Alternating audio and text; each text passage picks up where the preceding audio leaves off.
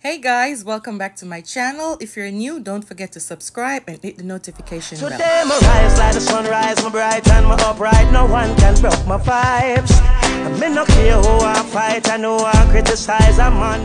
Hey guys, good morning. Welcome back to my channel. So today I just want to share with you this washer dryer that I found on Amazon. So if you guys are strapped for space and your apartment is small and you're just looking a little machine to, you know, save some coin coins, this is your perfect washer and dryer combo.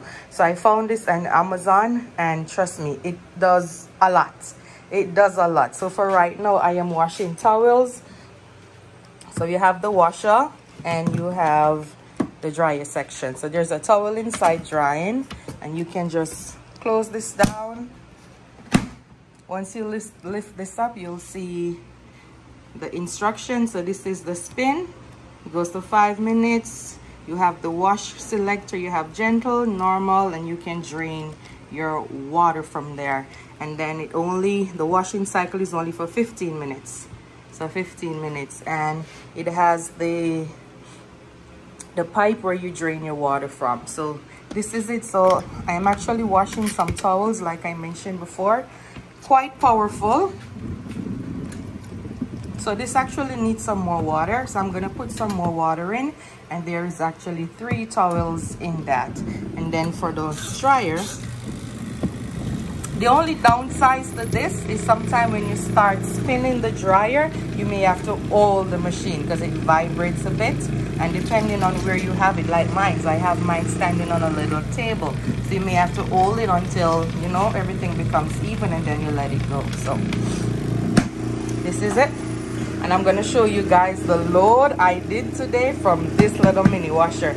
I will be linking I will I will be putting the link in my description where you guys can find it from Amazon. Pretty cute. Pretty cute, pretty powerful washer dryer combo.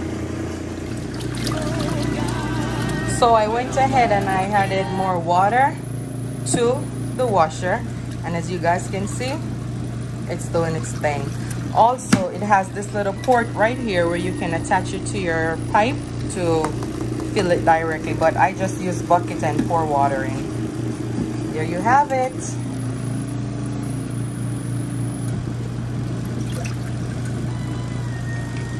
And sometimes if it's not going fast enough you can always remove a piece of the the um the clothes remove some clothing and it will go faster.